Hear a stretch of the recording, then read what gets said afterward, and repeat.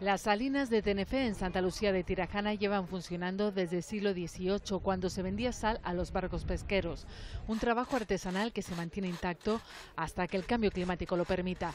El Cabildo de Gran Canaria ha tenido que construir un muro para evitar el deterioro de este bien de interés cultural debido al oleaje. Uno, pues la verdad que tiene un poco de temor y respeto a las subidas de nivel del mar de momento, ahora tenemos un poquito de calma que, no la teníamos hace dos años con lo que se ha hecho.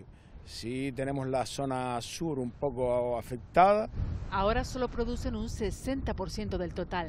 A esta joya etnográfica se suman, por ejemplo, estos nidos de ametralladora de la Segunda Guerra Mundial o yacimientos aborígenes como la necrópolis de Pozo Izquierdo, que van a desaparecer.